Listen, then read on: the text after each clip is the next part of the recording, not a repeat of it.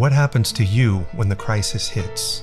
You know, the chaos that's just around the corner, the thing that's most predictable in life, like death and taxes, that everyone has to face at some point or another.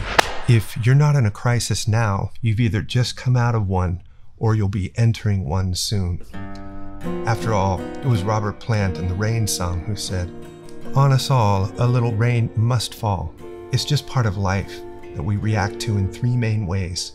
We either admit to it, but hasten to run from, or try to deny at all costs, drowning it in all kinds of sensory stimulation and busyness, or we face it as squarely as we can.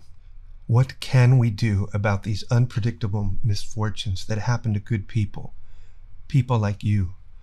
What are you going to do when it comes to visit your doorstep? The big question here for most of us is why? Why has this terrible thing happened to me? What did I do wrong? How can I make it through? And so on. You may have intuited that some tragedy has befallen me in the past, and you'd be quite right. But more on that later.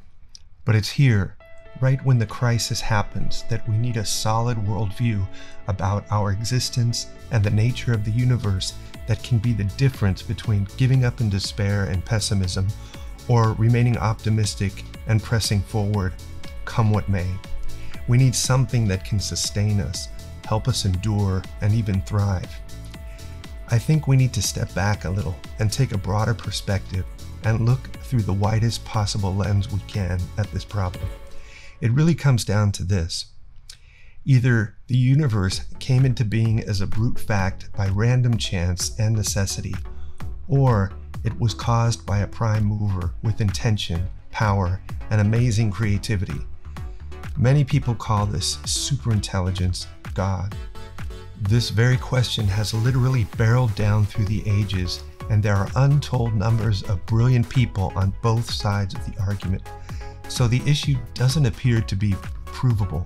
I mean, not like in the sense you can prove 2 plus 2 equals 4 in mathematics, but there is a treasure trove of evidence out there that acts as a pointer towards one or the other ultimate reality. And it's really up to us to evaluate the evidence presented to us and find what makes sense to us. So you may be wondering, what happened to me and how did I deal with it?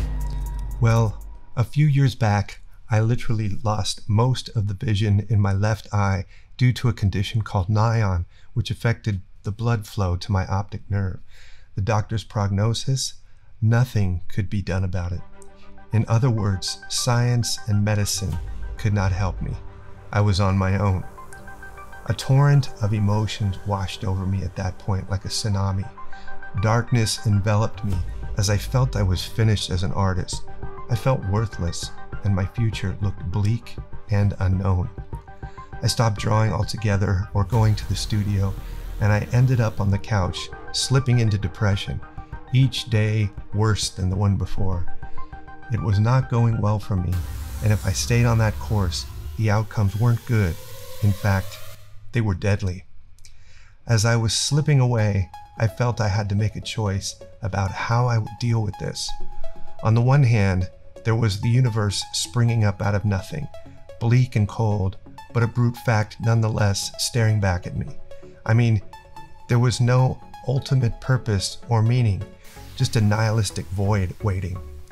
I felt weak and insignificant, standing on my own frail power in opposition to it as it pushed down against me with all its power. I was telling myself that all I had to do to survive was to mount a heroic offensive against an unnamed enemy and win the battle in my mind by summoning positive self talk and optimism from a deep well somewhere within.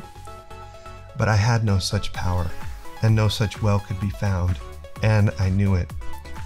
Many people can go this route and find their way, and kudos to them, but it offered no hope for me. My salvation came in the opposite direction. I just couldn't believe that the universe sprang out of nothing, randomly, without a cause. I mean, something cannot come from nothing, and to believe so takes a deep act of faith. In this world, there is no effect without a cause, and that was both logical and self evident to me. At that point, it came to me clearly that the existence of God made sense and was more powerful than the alternative. It also took faith, but it was faith in evidence around me pointing to a creator that allowed me to entertain that possibility.